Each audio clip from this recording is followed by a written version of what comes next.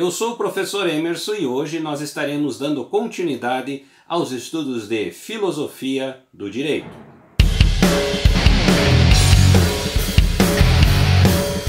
Prezados alunos, é um grande prazer estar aqui novamente com vocês e nós vamos dar continuidade aos nossos estudos aqui relacionados à filosofia do direito. Hoje teremos as contribuições do professor e pesquisador e também jurista Miguel Reale, que vai trazer para nós alguns aspectos relacionados à ontognoseologia, epistemologia jurídica, deontologia jurídica e culturologia jurídica. Esses aspectos são trazidos através do seu livro A Filosofia do Direito. Vamos então ao nosso primeiro slide. Ontognoseologia jurídica. Ontologia e gnoseologia relacionam-se com um dos principais problemas da filosofia, o valor do próprio conhecimento. Tratam da teoria transcendental do conhecimento, tendo por finalidade principal entender a correlação entre o pensamento e a realidade. A gnoseologia estuda as condições do conhecimento do ponto de vista do sujeito, que conhece. Busca-se a resposta para perguntas como: O que se conhece do mundo real? Conhecemos as coisas como elas são? Quais elementos formam o conhecimento? Aqui nós temos os primeiros preceitos trazidos por Miguel Reale. É importante nós citarmos que dentro desta característica da ontognoseologia, ele vai tratar basicamente das reflexões das teorias e valores.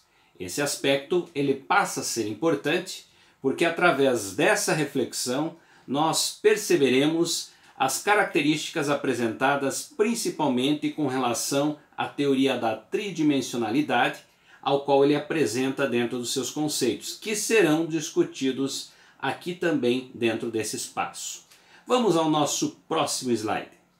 A ontognoseologia é então a relação dinâmica dessas duas visões num processo dialético de complementariedade. Miguel Reale afirma que a gnoseologia e ontologia são estudos separados só por abstração. O problema do conhecimento posto, ora, ponto de vista do sujeito e ora ponto de vista do objeto é, na verdade, parte de um mesmo processo. São estudos complementares. Somente com o exame dialético dessas análises é que as questões acerca do conhecimento podem ser bem esclarecidas. Aqui a gente já pode perceber que a característica vai estar visando essa relação dialética, ou seja, através dessa relação, dessa discussão entre dois aspectos importantes aqui, como o próprio autor nos traz. Então, dentro dessa afirmativa, o que é visto por, pela gnoseologia e o que é visto pela ontologia, na visão uh, de Miguel Reale, podemos entender que é só um processo de abstração realmente, mas ambas estão dentro de um mesmo contexto. Vamos adiante então ao nosso próximo slide. A ontognoseologia jurídica, como parte geral da filosofia do direito, reveste-se do caráter de uma teoria fundamental, não só no concernente à tarefa de determinar a natureza da realidade jurídica em confronto com a moral e demais expressões da ética, como a de esclarecer os meios de compreensão correspondentes ao objeto do direito, em geral, assim como seus status ou aspectos considerados de maneira distinta, embora em função dos demais e em sentido de complementariedade. É fato que dentro dessa característica nós vamos perceber que a relação importante que estará sendo discutida é efetivamente a natureza da realidade jurídica, dentre as quais a ontognoseologia vai efetivamente fazer essa reflexão diante dessas teorias e desses valores. É a partir desse preceito que nós temos a linha de raciocínio que Miguel Reale apresenta a todos nós aqui. Vamos então ao nosso próximo slide.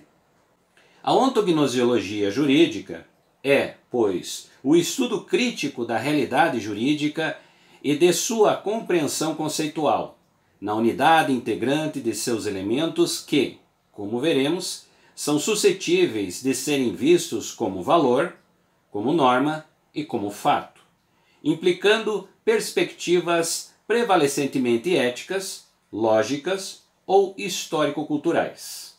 Daí o posterior desenvolvimento da pesquisa em três partes especiais, distintas respectivamente ao estudo de cada um dos aspectos da experiência jurídica. Como podemos perceber, as relações de análise de Miguel Reale, elas vão estar dentro da perspectiva da teoria da tridimensionalidade, ou seja, analisar qualquer aspecto dentro da área do direito ou relacionado ao direito vai efetivamente trazer a perspectiva do valor, da norma e do fato, diante de toda a relação desenvolvida nos, na sua teoria da tridimensionalidade.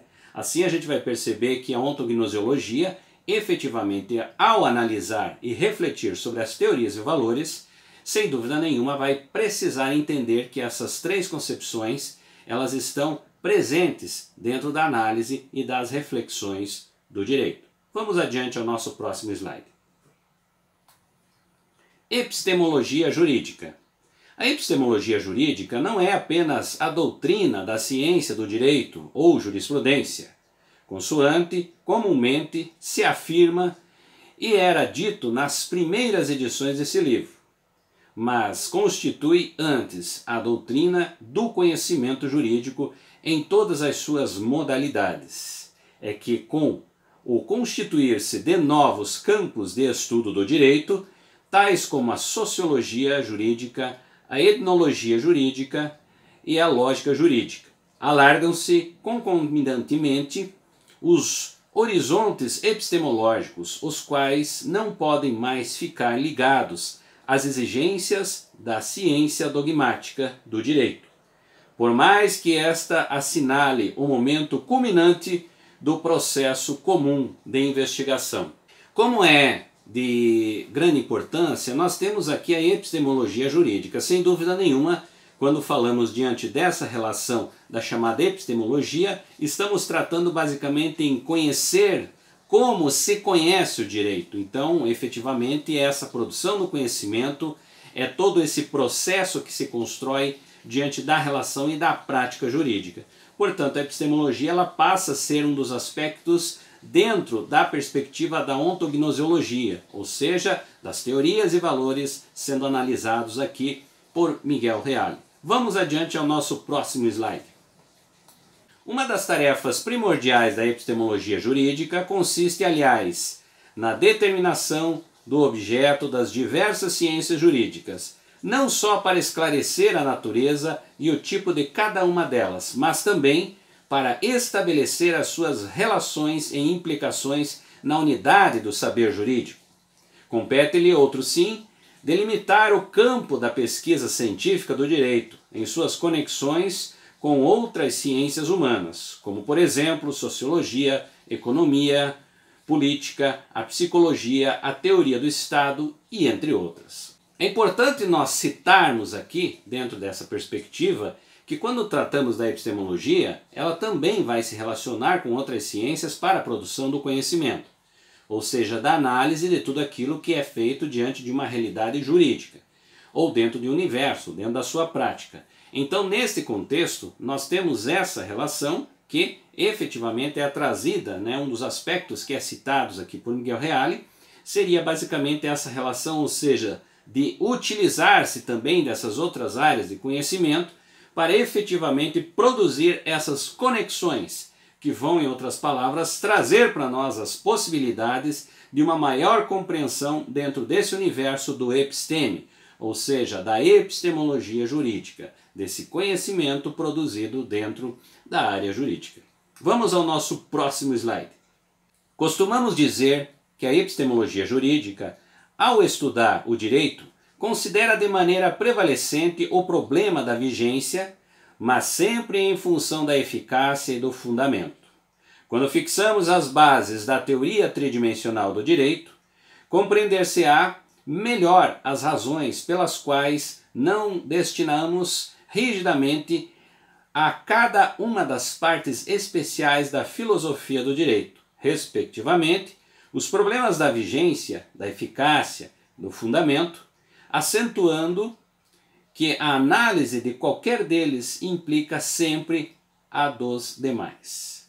A tríplice perspectiva não deverá jamais partir a unidade essencial da experiência jurídica, na congruência, na complementariedade viva de seus elementos. Aqui ele cita novamente a relação da tridimensionalidade, ou seja, do valor, do fato e da norma, que efetivamente possibilita uma leitura mais aprofundada na relação do direito, no estudo do direito, na compreensão do direito.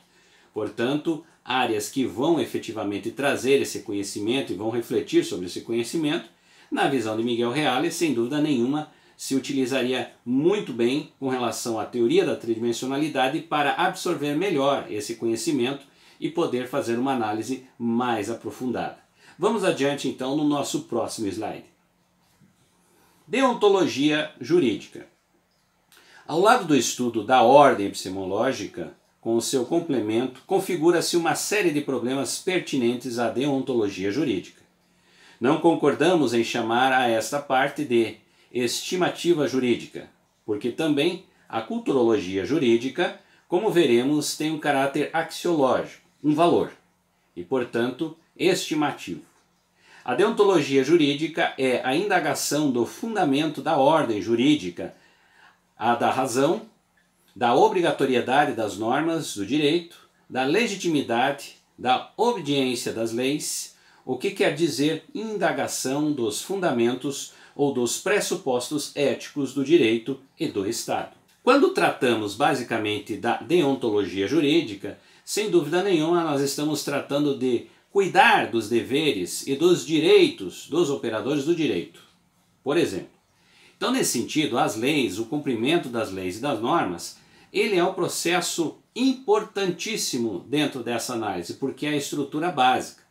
Então, tratar de deontologia jurídica efetivamente é tratar de todo esse processo ao qual se constrói dentro desse universo da prática jurídica, ou seja, respeito ético perante a característica das leis, ou seja, como essa prática ocorre, né?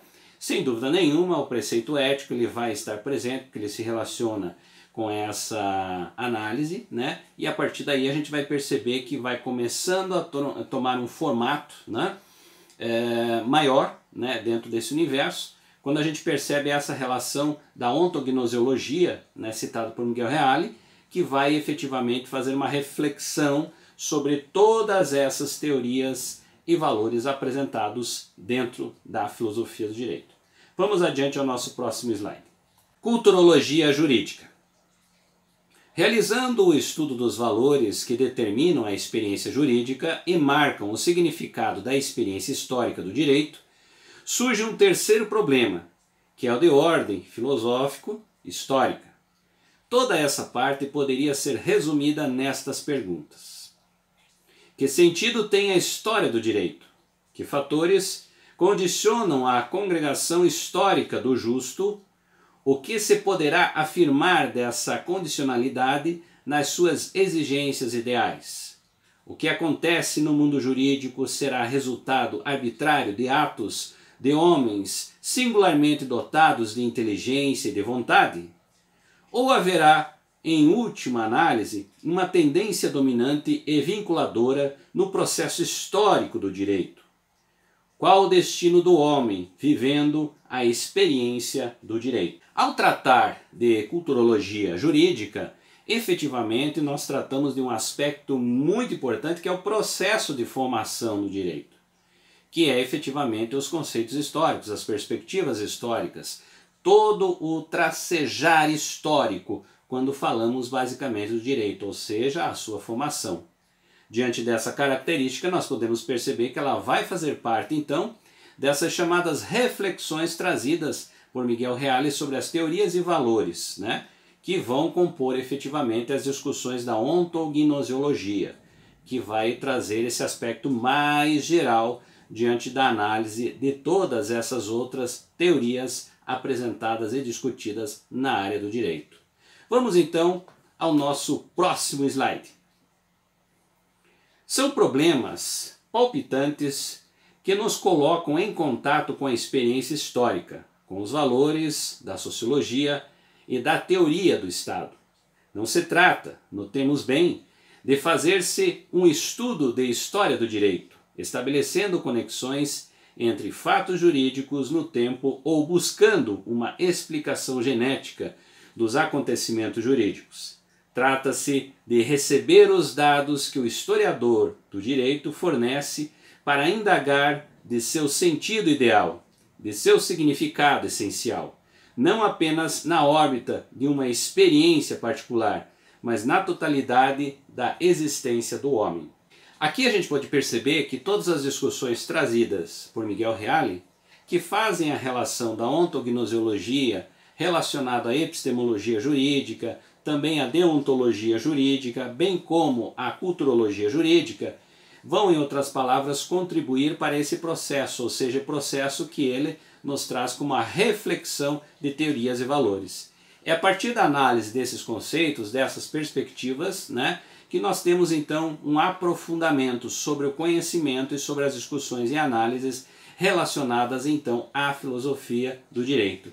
Na visão de Miguel Reale, são aspectos extremamente importantes que devem ser analisados e discutidos. Espero que tenha contribuído com todos vocês. Nos encontramos então na nossa próxima aula.